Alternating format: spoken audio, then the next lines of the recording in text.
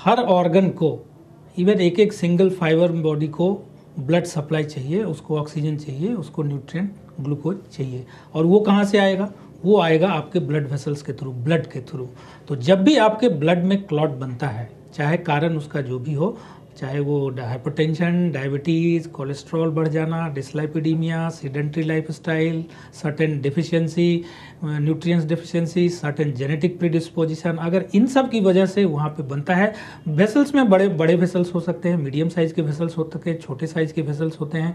तो जनरली देखा जाता है कि जो छोटे साइज़ के वेसल्स हैं, जो कि आपके हाइपरटेंशन और डायबिटीज़ में ज़्यादा इफेक्टेड होते हैं तो आपका होता है उसमें क्लॉट बन जाता है। और जब वो क्लॉट बन जाता है तो आपकी नस नस में ब्लड सप्लाई रुक जाता है, नस में ऑक्सीजन मिलना बंद हो जाता है, नस में ग्लूकोज और न्यूट्रिएंट्स मिलना बंद हो जाता है, जिसकी वजह से धीरे धीरे आपकी वो नस खत्म होने लगती हैं डैमेज होने लगती हैं मरने लगती हैं। और अकॉर्डिंगली उसके आपके बॉडी में सिम्टम्स आता है जो आप लेके डॉक्टर के पास आते हैं। जैसे हाथ पैर में झिनझिन करना चलने में इम्बैलेंस होना रात और जनरली देखा जाता है कि जो इसको न्यूरोपैथी बोलते हैं।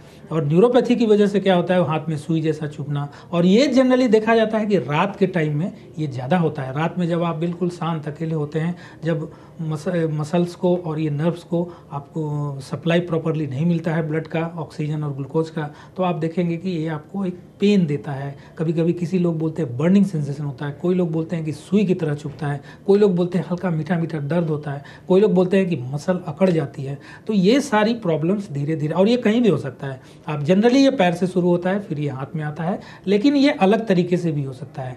तो ये मल्टीपल मेटाबॉलिक डिजॉर्डर की वजह से हो सकता है डायबिटीज़ की वजह से हो सकता है, और भी बहुत सारी बीमारियाँ हैं। लेकिन जब भी आपको इस तरह के प्रॉब्लम्स आती हैं तो जब आप डॉक्टर के पास आते हो, हमारे पास होते हैं तो कुछ कुछ अलग अलग तरह की जाँच होती है। सबसे पहले तो हम आप लोग का मेटाबॉलिक स्क्रीन करते हैं, जो जनरल ब्लड टेस्ट करते हैं। फिर आपकी कुछ नस की भी जाँच करते हैं, जिसे नर्व कंडक्शन स्टडीज़ बोला जाता है। और उसमें हम देखते हैं कि आपके बॉडी में जनरली कौन कौन से नस आपकी डैमेज हो रहे हैं और डैमेज के अलग अलग प्रकार हैं, क्योंकि नस में अलग अलग लेयर्स होती हैं। जैसे आपके घर के दीवार में अलग अलग लेयर्स होती हैं, उसी तरह नस में लेयर्स होती हैं। और वो जाँच से हमको पता चलता है कि ये किस तरह, बोला जाता कि वो एक्जोनल हो सकता है, वो डीमाइलिटिंग हो सकता है। तो ये अलग अलग कारणों की वजह से होता है। उसका पता लगा के अकॉर्डिंगली कुछ चीज़ें ऐसी होती है जो एक्यूट होती है। एक्यूट करने का मतलब उसका तुरंत आपने इलाज करना है। नहीं तो वो फिर परमानेंट डैमेज की ओर जाता है। कुछ चीज़ें होती है कि जो क्रॉनिक होती हैं और वो काफ़ी सालों से चलता आ रहा है। जो इसमें एक बहुत अच्छा एग्ज़ाम्पल है आपका डायबिटीज़ का। काफ़ी सालों से नर्व में डैमेज आता है। आप इसको अवॉइड करते रहते हैं धीरे धीरे धीरे धीरे।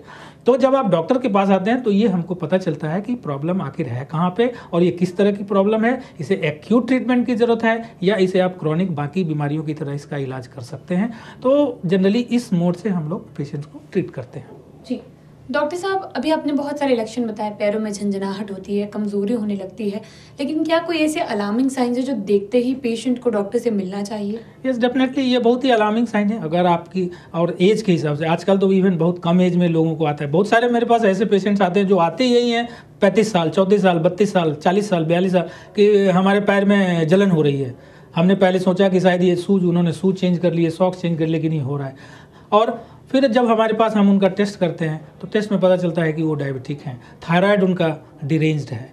और इस और कुछ केसेस में ऐसा देखा जाता है कि पहले वो जलन से शुरू हुआ और धीरे धीरे पता चला उनके हाथ पैर में वीकनेस आ गया, अब वो पैर नहीं उठ रहा। तो इस तरह के भी केसेज आते हैं। तो जैसे ही आपको लगे इनिशियली अगर आप एक दो हफ़्ता आप जो अपना घर पे देखते हो, करते हो, अगर उससे आपको आराम नहीं मिल रहा या आपको कुछ ज़्यादा डाउट होता है तो डेफिनेटली आप फ़र्स्ट इंस्टांस में ही डॉक्टर के पास आए, क्योंकि जितना अर्ली हम डायग्नोज कर लेंगे, उतना अच्छा इलाज कर पाएँगे।